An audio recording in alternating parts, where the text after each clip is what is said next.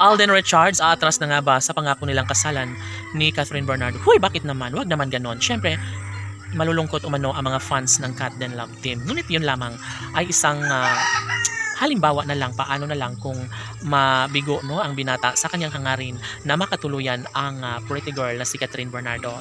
Siyempre, hindi pa umanuhuli ang lahat at sanay kanilang mapagtagumpayan ang kanilang relasyon na siyang nagbibigay kasiyahan sa taong bayan. Sabi nga ng mga fans ni Alden Richards na dapat lamang na kanyang patunayan, dapat lamang na mangingibabaw ang kanyang tiwala at pagmamahal para sa dalaga dahil wala na umanong ibang mas makapagbibigay kaligayahan sa puso ni Catherine ah, ni Alden Richards kundi si Catherine Bernardo lamang. Of course, isa lamang umano ito sa magandang dahilan kaya sanay hindi na umano mangyayari pa na mabigo ang binata sa kanyang pagmamahal para kay Queen Catherine dahil wala na umanong ibang mas makapagbibigay kaligayahan sa lahat.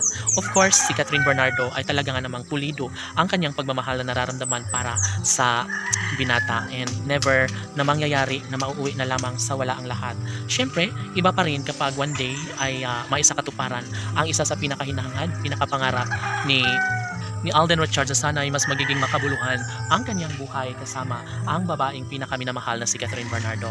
Siyempre, iba pa rin umano kapag balang araw ay magkaroon na nga ng walang hanggang kaligayahan sa pangarap ni Catherine Bernardo na mas magiging makatotohanan sana ang isa sa kanyang pangarap at hangarin na magiging matagumpay sa pagmamahala nilang dalawa.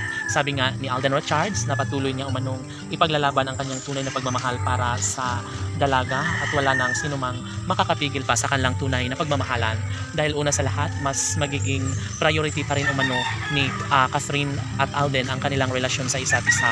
Never na mangyayari na magkaroon ng ah, pagkakatagumpay kung mismong si Alden at Catherine mismo ang aayaw sa kanilang tunay at pagmamahalan sa isa't isa. Laging pakatandaan na hindi madali para kay Alden Richards ang lahat ng kanilang mga pinagdadaanan. Of course ito umano ay isang pag-ibig na siyang nagbibigay kaligayahan sa taong bayan. Si Alden Richards na nga kaya ang magtatagumpay sa pagmamahal ni Catherine Bernardo. Posible nga kaya na magkaroon sila ng walang hanggang kaligayahan sa kanilang mga puso. Siyempre, mananatili ang isang pag-ibig at kailanman ay hindi ah, kayang ah, maipaglalaban ni Catherine Bernardo ang kanilang pagmamahalan. Si Alden Richards ay mayroong isang salita at kailangan niya umano na mas magiging happy sa buhay kasama sa kanyang plano na makapiling hanggang sa pagtanda ang pretty girl na si Catherine Bernardo. Siguro nga ito na ang tamang panahon upang sa ganun ay maisa katuparan ng isa sa pangarap ng taong bayan. Yun ay ang magkaroon ng walang hanggang pag-ibig at kaligayahan sa puso ni Alden Richards. Sana'y ah, magtagumpay umano siya sa kanyang pangarap na makapiling habang buhay. Sana may kasal na nga umano si Alden Richards sa pretty girl na si Catherine Bernardo para magkaroon naman ng kulay, magkaroon ng pag-asa ang lahat sa kaligayahan na nararapat na maranasan ni Alden at Catherine. Love it!